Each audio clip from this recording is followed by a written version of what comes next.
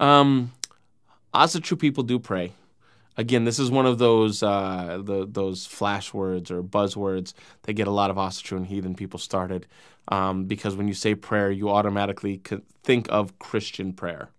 You think of people on their knees at a pew um, talking to God, telling them how they're not worthy, and please forgive me for being alive, and all that kind of stuff. We don't believe in that kind of prayer, but we believe in a prayer that's it's much more what I would call rooted in, in natural consistency. We talk to the gods. Most Asatru people talk to the gods like they're talking to someone on the phone. It's it's more common. now we do when we do offerings and sacrifices and certain types of celebrations and and, and ceremonies talking to the gods or the ancestors may be more reverent at that point in time.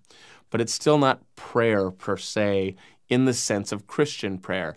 Now, if you actually look up the definition of prayer, it would still qualify as prayer. We are sharing with the gods, we're asking them to listen to us.